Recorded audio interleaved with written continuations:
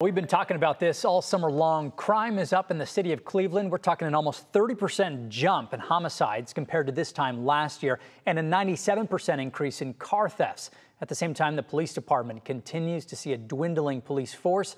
Today, I sat down with Mayor Justin Bibb to talk about all of it. Is the lack of officers that Cleveland has right now impacting what we're seeing in the streets? I, I would say a couple things. It absolutely impacts our ability to continue to be as proactive as we want to be.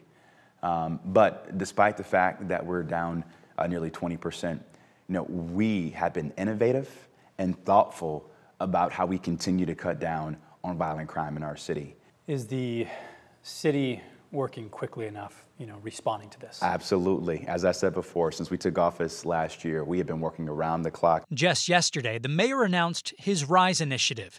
It includes investments in police and public safety, promoting aggressive enforcement and increased visibility in the city's neighborhoods, using tech to combat crime, and improving partnerships with state and federal agencies like Highway Patrol and the FBI. The plan comes after the West 6 shooting and after the debate over public safety boiled over at City Hall last week. That's when city council members called out the mayor and his office for not doing enough and not showing up for their meeting. Safety Committee Chair Mike Polensek says he didn't know about the mayor's new plan until it came out yesterday. He told Neil Fisher it was encouraging.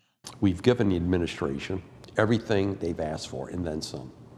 So the ball is in their court. We're going to see if the partnerships materialize. We're going to see if the aggressive enforcement takes place. We're going to see if there's a better, better engagement across the entire city.